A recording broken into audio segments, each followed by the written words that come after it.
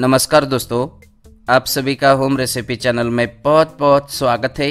आज तक आपने हज़ारों बार इडली बनाई होगी या फिर इडली के कई प्रकार बनाकर खाए होंगे, जैसे कि इडली फ्राई, मसाला इडली या स्टफ्ड इडली। ऐसे ही नए प्रकार की आज मैं आपको धब्बा इडली बना के दिखाने वाला हूँ, जो कि आज तक आपने ना बनाया होगा, ना ही खाया होगा। तो फिर चले, इसे कैसे बनाते हैं वो देख ले। वैसे तो आप सभी इडली बैटर तो बनाना जानते ही होंगे। फिर भी मैं आपको अपने तरीके से आपका ज़्यादा समय ना लेते हुए पहले इडली का फटाफट बैटर बना के दिखाता हूँ। तो उसके लिए मैंने मिक्सिंग बाउल में डाला है तीन कप सादे वाले चावल। दोस्तों, तीन कप चावल के पीछे हमें लेना है एक कप उड़द की दाल।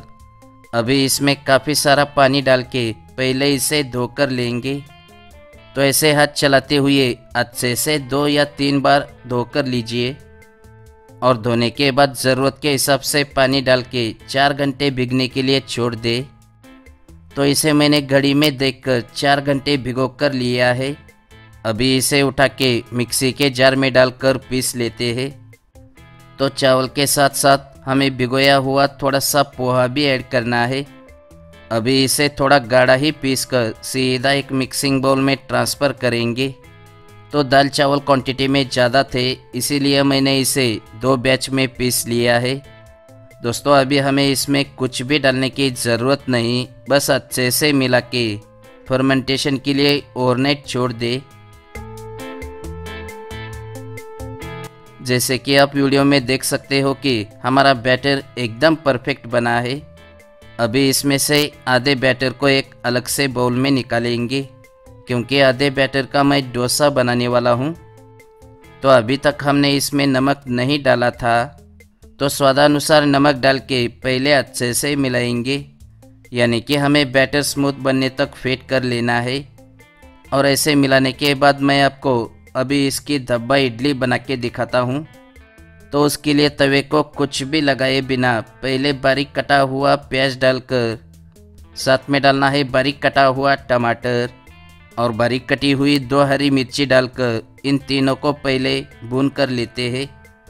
यानी कि प्याज टमाटर हल्के से सॉफ्ट होने तक गैस की फ्लेम को मीडियम टू स्लो रखकर चम्मच चलाएँगे और ऐसे चम्मच चलाने के बाद ऊपर से थोड़ा बटर और हरा धनिया डाल के फिर से इन्हें भून कर लेते हैं। दोस्तों, यहाँ पर मैंने बटर का इस्तेमाल किया है ताकि ये खाने में और भी ज़्यादा टेस्टी लगे। आप चाहे तो तेल या घी भी डाल सकते हो। तो आपको तेल, बटर, घी जो भी इस्तेमाल करना है वो करिए और थोड़ा सा चम्मच चला के इस तरह भून कर लीजिए और बाद में आधा छोटा चम्मच गरम मसाला डाल के प्रोसेस को फास्ट करने के लिए स्वादानुसार नमक भी डाल दीजिए। और डाले हुए सभी चीज़ें अच्छे से सॉफ्ट होने तक भून कर लीजिए। आप वीडियो में देख सकते हो कि प्याज, टमाटर बढ़िया सॉफ्ट हुआ है। अभी इसे हम तीन पार्ट में डिवाइड करते हैं। ये देखो आप, ऐसे डिवाइड करने के बाद जो हमने इडली का बैटर बनाया था, उसमें से एक एक चम्मच बैटर को एक एक पार्ट के ऊपर डालना है। दोस्तों, अगर आप रोज़ का वही खाना खाने से और एक ही तरह के स्वाद का नाश्ता खाने से मन भरा हो तो इस डब्बा इडली को ज़रूर बना के देखे और बनाने के बाद ये आपको और घर में सबको बेहद ज़्यादा पसंद आएगा। अभी इसके ऊपर थोड़ा थोड़ा सांभर मसाला डाल के थोड़ा सा हरा धनिया डालेंगे और बाद में गैस की फ्लेम को मीडियम करके इसे ढककर डेढ़ से दो मिनट तक सेक लेंगे। दो मिनट के बाद ढक्कन को हटाकर इन तीनों के ऊपर थोड़ा थोड़ा बटर डालना है। अब इन सबको दूसरे साइड पलट के दूसरे साइड से भी एक मिनट तक सेक लेना है।